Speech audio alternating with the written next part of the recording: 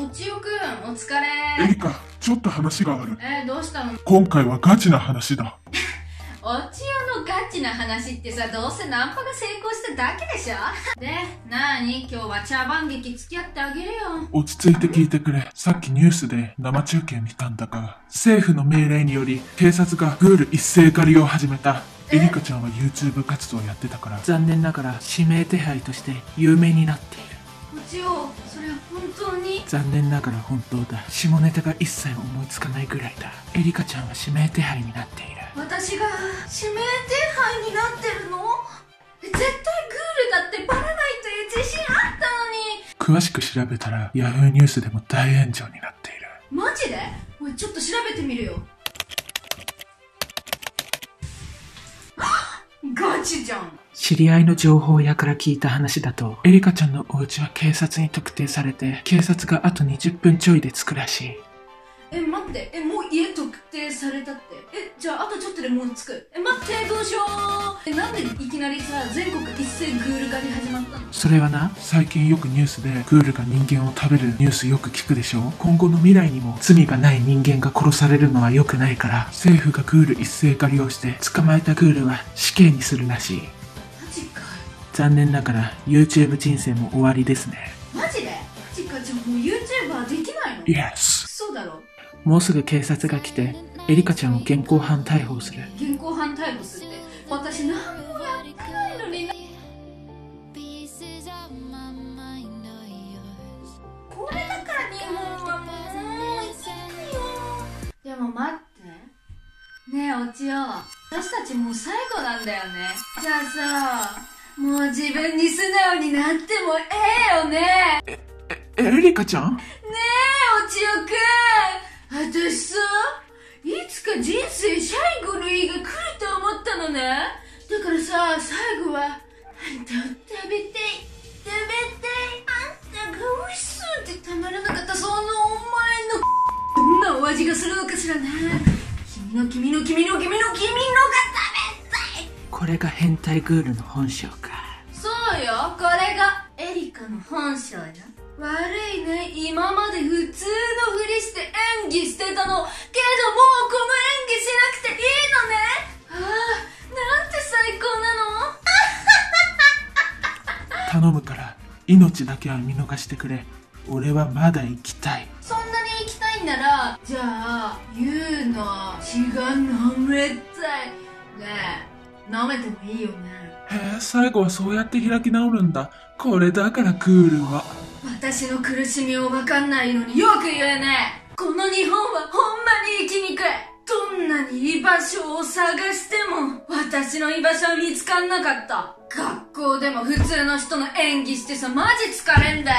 グールじゃない普通の健常者の演技すんのはこっちは疲れんだよマジで。本当はなそれをお前みたいに自分をさらけ出したよ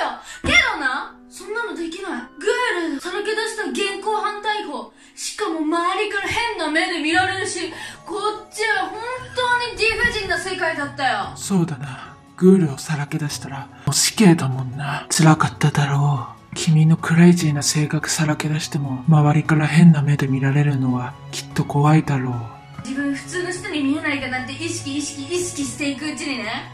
いつの間にか自分はどんどん孤独になって寂しさを感じるようになって。グールからしては普通の人の演技をして生きるのって本当に大変だったんだろうな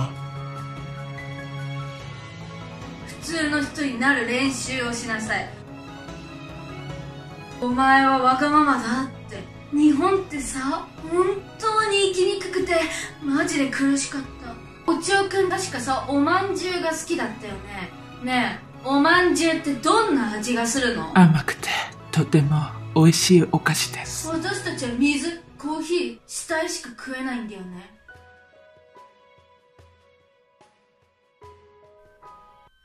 そうちおくんお前さずーっと食べたかった。ねえ。最後だからもういいよね。おちよ今まで。やめてください。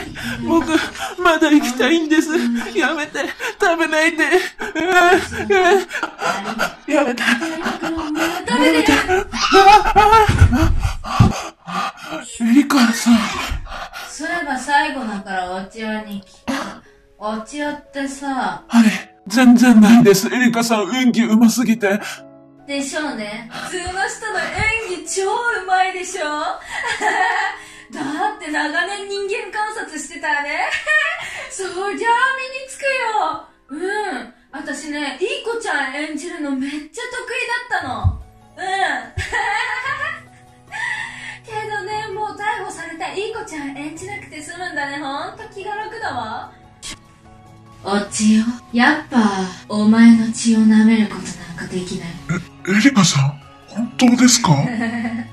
最後だから正直に言ってやるよ。家族並みに大切な存在だ少しの間だったけど。私は君と話してて時々グールだと忘れたんだよ。あの瞬間は本当に最高だった。僕もエリカさんのカメラマンになれて幸せでした。お千代エリカさん、警察がお見えになっています。逃げましょう、エリカさん。警察だ現行犯で逮捕する開けろ警察だ開けるんだそろそろ時間なのねエリカさん、隠れましょう。そしてこれからも生きてください。視聴者さんはエリカさんの作品をこれからもずっと待っているんです。エリカさん。隠れないお前を逮捕する警察だ開けろ早く開けるんだお千代お前と出会えてよかった。エリカさ。短い間だ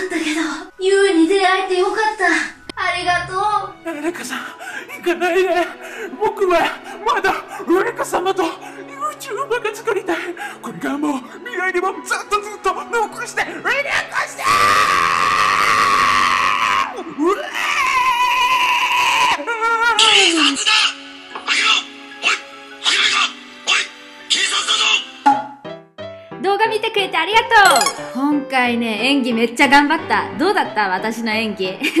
もしよかったらコメントにてお待ちしております。もしよかったら Twitter、Instagram フォローよろしくお願いします。それではまたお会いしましょうバイバーイ